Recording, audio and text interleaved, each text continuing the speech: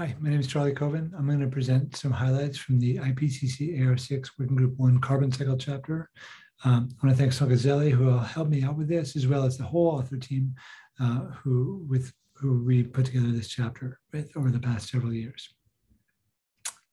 Um, Okay, so I'm going to start at the highest level of, you know, what arrived in the summary for policymakers in the IPCC Working Group One assessment.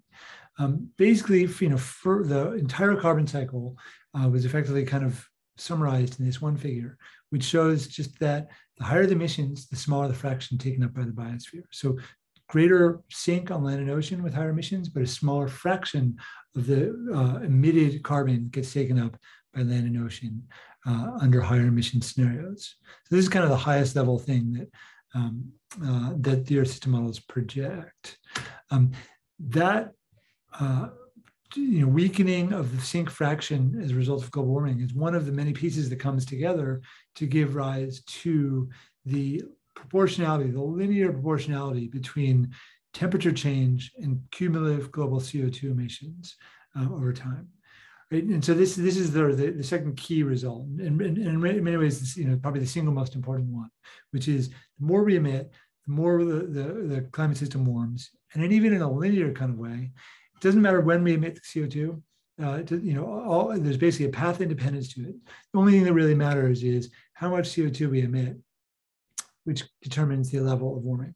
There's certainly uncertainty on that, right? So the plumes you can see here, the uncertainty in the, in the cumulative proportionality, the proportionality between warming and cumulative emissions, but that warming, the, the proportionality is there across all the models and across all the scenarios.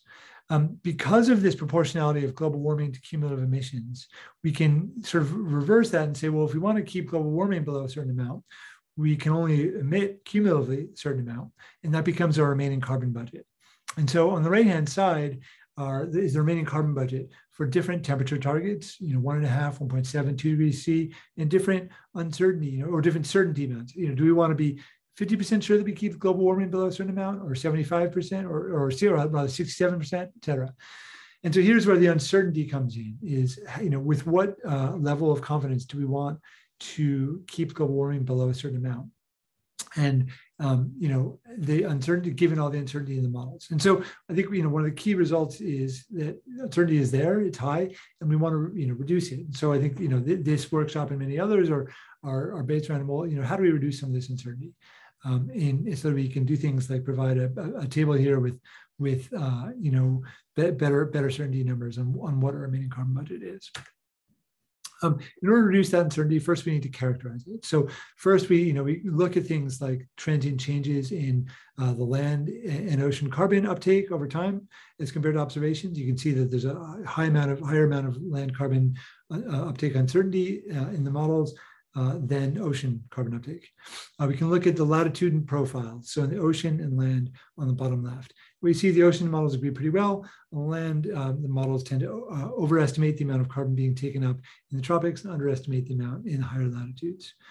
On the right-hand side is, is then you know even more of these benchmarks um, because we know that there are many many ways that the carbon cycle can differ uh, uh, or many different you know the high dimensionality of the problem. We want to come uh, put together as many different benchmarks that are hopefully as orthogonal as possible so that we can better constrain the model. And the key result here is that the CMIP6 generation of Earth system models has a lower uncertainty, or rather a better agreement with the benchmarks than the CMIP5 uh, generation of models, which had slightly worse uh, uh, agreement to the benchmark. So we can say that we the models are getting somewhat better over time uh, uh, from one generation to the next. Um, intermodel spread is very high, so this shows the trajectories going forward in the future of, of the carbon sinks. Um, uh, uh, but, you know, between these different scenarios, and what you see again is that the land models uh, have much, much higher uncertainty than the ocean models. That uncertainty is, is, is very large, but is not actually enough to, to, to dominate the total signal in how much CO2 we're going to get, right? The, the amount of CO2 we emit is still the, the, the, the determinant of, of, of these things. There's, there's enough difference between these, um, between the uh, different scenarios that, you know, the, the uncertainty within any scenario is still smaller than that. But it is it, you know is, is a substantial uh, contribution to the to the uncertainty is, is uncertain the, is the, various models. now drilling down with more detail into spatial patterns. So on the upper left is the spatial pattern of the carbon concentration feedback. All the models agree that the land is going to take up more carbon as a result of elevated CO2, and they all agree that that is predominantly in the tropics. Um, in the response to climate is a slightly different story. In general, the models suggest or uh, project that the um, tropics will lose carbon and higher latitudes will gain carbon. Um, but outside of the Amazon, where basically all the models agree that the Amazon is going to lose carbon with warming, uh, as, as well as, you know, as a result of changes to precipitation as well. Um, the the uh, agreement outside of there is much lower. Basically, you know, this, the hatching uh, is uh, show is, is, where less than 80% of the models agree on the sign of the response. And we see that there's, you know, most of the world, the models do not agree on the sign of the response. So while in general, we get this pattern of loss of carbon in the tropics, gain of carbon at high latitudes, throughout much of the world, there's there's actually no agreement on the sign, you know, across all the models. When we add these two things together, both the CO2 fertilization and climate change, we get that, that there's an increase in carbon pretty much everywhere, dominated in the tropics. Um, and again, you know, here the model uncertainty is high. So, so the point is the models agree that CO2 fertilization is the dominant driver of carbon change uh, pretty much everywhere, and that it leads to carbon uptake everywhere. Um, in, at least in, you know, in, in terms of the sign. When we then add in land use in these more uh, realistic scenarios or less idealized scenarios, we see that land use is also super important. Um, in the high land use scenarios with like SSP 3.7, we actually lose carbon uh, in, in the tropics, in the model mean, and, and in all of the scenarios, we lose the sort of certainty in the sign of the sun. So some of the models are showing a, a loss of carbon uh, in, in, into the future uh, as a result of, of combined you know, everything, including land use, um, other models show a gain. And so we lose some of the certainty when we when we move away from these idealized scenarios uh, due to this, in particular, the influence of, um, uh, of, of, of, land use. Um, we in in this chapter, we identify a small set of structural differences between system models. So, you know, for example, how many pools do they have? How many PFTs do they have? What processes? Do they include fire, dynamic vegetation, permafrost, carbon, nitrogen? Um, what you can see is that none of the models are comprehensive. Um, a lot of processes are missing from a lot of models. And um, you know, while we can see some patterns that, that reflect these differences in the structural things, in general, though, we know that the dimensionality of the structural and parametric differences between the models is much, much greater than the number of ESMs that we're actually sampling, right? So we don't we, we, we don't have a, a, full enough representation of this uncertainty, structural and parametric uncertainty space to be able to say much about what the real drivers of uncertainty are uh, between models. And then I think that's an important you know, weakness in our current approach of using these these big system models, where which are very expensive, is that it's difficult to make to do this attribution of of parameter and structural uncertainty onto differences in model predictions. Because the, their system models are not uh, comprehensive, a lot of them are missing key processes, things like fire feedbacks or permafrost feedbacks. We took the, the, the model projections of the feedbacks and then also uh, uh, added uh, through survey of the literature, other estimates of some of these feedbacks, in particular the permafrost carbon feedback, which is missing from most of the Earth system models, as well as others. And we, we take these, these, these other feedbacks that are, exist in the literature, combine them with the estimates from the Earth system models, and, and uh, use that to, to construct the remaining carbon budget that I showed you in the prior figure. Now, some highly policy relevant Earth system model predictions relate to what happens under strong mitigation um, that's separate from this kind of linear feedback uh, framework that I was showing in the, in the prior in the previous slides. Uh, you know, in particular, you know, policymakers care about what happens in scenarios where there's strong policy, and in strong policy, we you know we get to a point where we're able to reduce our emissions and um, and and possibly even get to net negative CO2 emissions. Uh, you know, in in, uh, in in the time frame of you know before or shortly after 2100. Um, and, and, a, and a key question is, well, what happens in these kinds of scenarios where, there, where we actually are able to reverse uh, our CO2 emissions and get to net negative CO2 emissions? What the models project is actually that the terrestrial carbon sink will weaken and possibly reverse um, once we do that. Because it's you know, primarily being driven by CO2 fertilization effects, if we reverse that, the, the, the, um, CO2 emissions to net negative emissions, we will therefore actually reverse the sink as well. And so this is an example of another kind of prediction that comes out of the Earth system model literature um, and, and how we use our system models in order to inform policy. Um, and, and a key question is, you know, can we constrain this experimentally? So what I want to do now is, is, is talk through some uh, specific assessments in the report and how they might be strengthened by ecosystem experiments.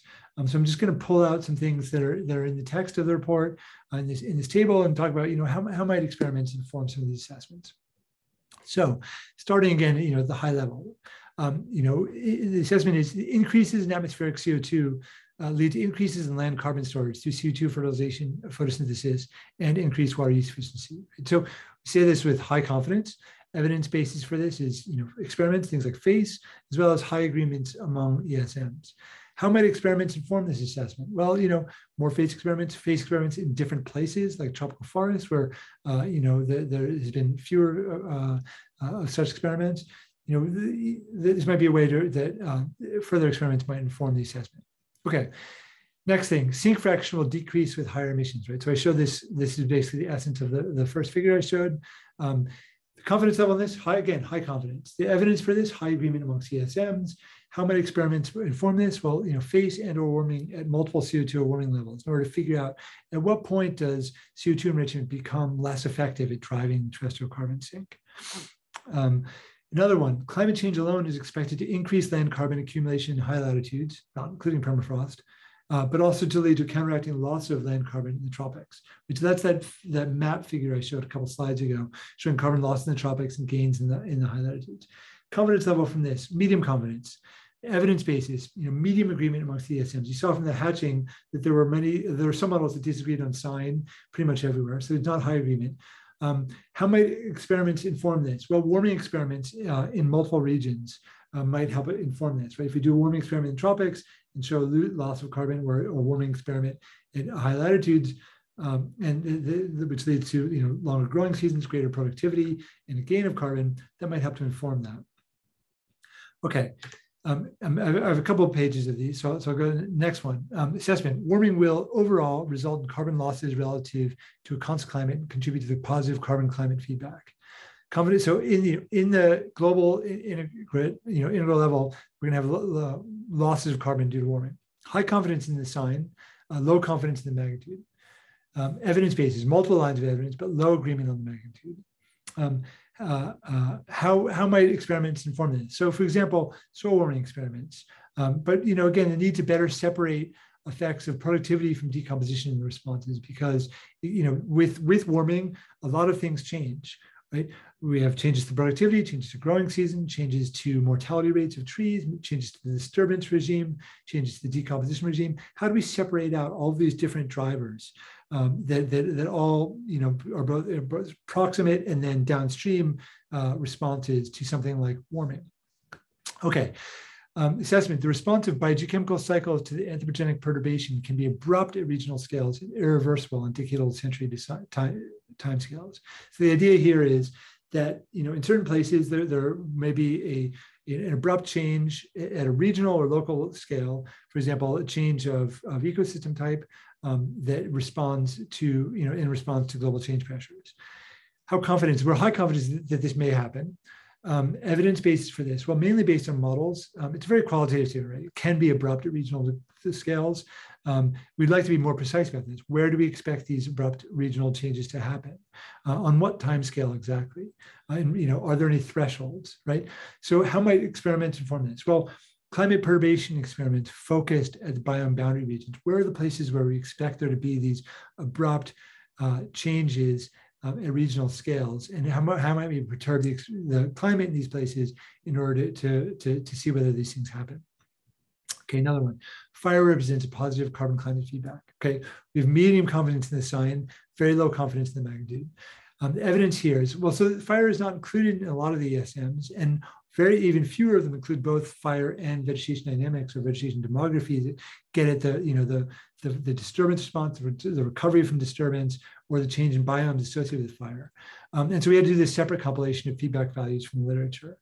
Um, how might experiments inform this? Observations along fire chronosequences, fire manipulation experiments, uh, possibly in the presence of other global change perturbations. That might be a way of getting at, at some of these, um, you know, what is the role of fire in different parts of the world too, right? The fire likely has very different consequences at high latitudes where it might burn off organic layers than in the tropics, where it's, you know, more likely to be a part of the land use uh, forcing.